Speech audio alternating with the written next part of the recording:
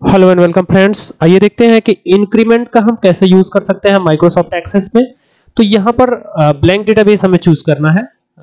We have to choose here blank database after choosing blank database we have to click on create so I already clicked on create go to view and select the design view. I have uh, i will give here uh, the name and the name is increment.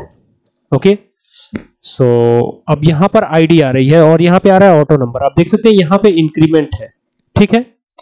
Increment का क्या मतलब होता है? Increment का मतलब होता है line wise जैसे सपोज़ कीजिए अगर काउंटिंग वन से शुरू हो रही हो तो वन के बाद टू टू के बाद थ्री थ्री के बाद फोर फोर के बाद फाइव ये एक कंटिन्यू कंटिन्यूअस फॉर्म में ये चलता आएगा। इसे हम कहते हैं इंक्रीमेंट ठीक है? डिक्रीमेंट या रैंडम क्या होता है? यहाँ पर रैंडम दिया हुआ है। इस रैंडम को अगर हम सेलेक्ट करें तो क्या होता है ये? ठीक है? आइए देखते हैं।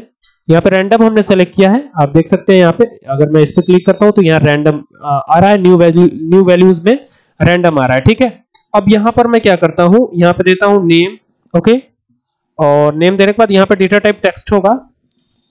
और यहाँ पे मैं सिटी कर देता हूँ, ठीक है? सो यहाँ पे सिटी कर दिया हमने। अब व्यू पे क्लिक करते हैं। आइए यहाँ पे अब चलते हैं और देखते हैं। यहाँ पे रैंडम हमने दिया हुआ है, ठीक है? तो अब यहाँ ना नेम देते हैं हम। नेम में आ, मैं लिखता हूँ सूरज और सिटी में लिखता हूँ देवरिया ओके तो यहाँ देवरिया भी लिख दिया हमने। अब यहाँ पे देखिए रैंडम हमने लिया तो यहाँ पे ये क्या जनरेट होकर आया? आप देख सकते हैं इस चीज़ को। यहाँ पे देखिए क्या जनरेट हुआ है। रैंडम का मतलब क्या होता है? रैंडम का मतलब होता है कि वो कहीं से भी रैंडमली उठा करके डेटा दे देगा हमें। कोई भी डेटा दे सकता है ठीक है? अब इसी तरह से सेकंड नंबर पे हम आएँगे तो ये सीक्वेंस में नहीं देगा। ये कोई ज़रूरी नहीं कि आपको सीक्वेंस में दे दे ये। ठीक है, अब यहाँ पे मैंने लिखा अविनाश, ठीक है? अवि सॉरी अविनाश, ठीक है?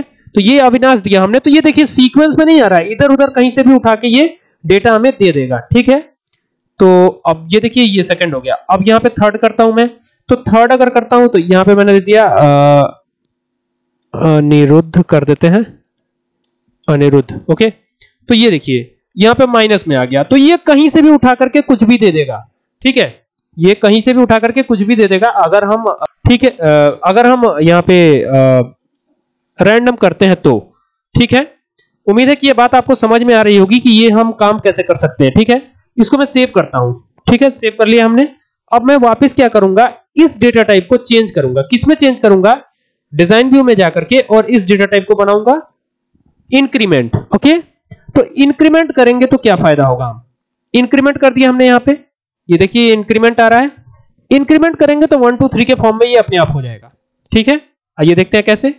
अब यहाँ पे इंक्रीमेंट हमने किया है। ठीक है? तो अभी जो हम डेटा देंगे, वो अब यहाँ पे एक बार और चेक कर लेते हैं डिज़ाइन व्यू में जाकर। यहाँ पे क्या है? इंक्रीमेंट है ना? ये ध्यान दीजिएगा आप, यहाँ पे अब इंक्रीमेंट हो चुका है। तो चलिए ये यहाँ से शुरू करते हैं। ठीक है? यहाँ पे लिखा मैंने राम। ठीक है? और यहाँ पे देखिए अभी ये रैंडम फॉर्म में ही चल रहा है। यहाँ पे देख सकते हैं इंक्रीमेंट ज़रूर लगाया है मैंने, लेकिन ये अभी रैंडम फॉर्म में ही चल रहा है।